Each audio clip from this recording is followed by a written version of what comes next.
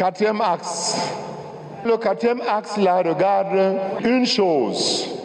Pouvons-nous avoir l'argent nécessaire pour la vie de nos paroisses, de nos biquanes, de nos CEV C'est ça le problème. Maintenant, le quatrième axe regarde la paroisse.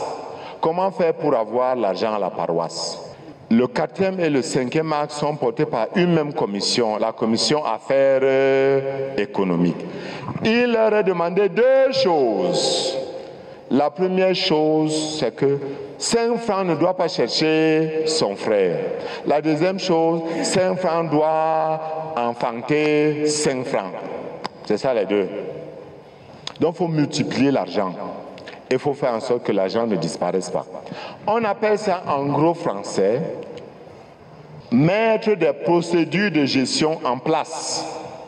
Est-ce qu'il y a des procédures de gestion dans nos paroisses Oui, toutes nos paroisses ont des procédures de gestion, mais parfois ce n'est pas bien mis en place. Il faudrait que toutes nos paroisses aient des procédures de gestion.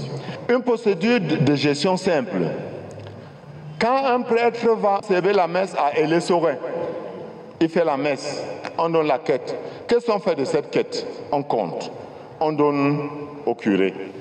Est-ce qu'on a écrit Est-ce que le curé a déchargé L'harmonisation de la pratique pastorale? Passe par là. Avons-nous des rapports financiers, les budgets provisionnels? Il y en a qui ont, d'autres n'ont pas.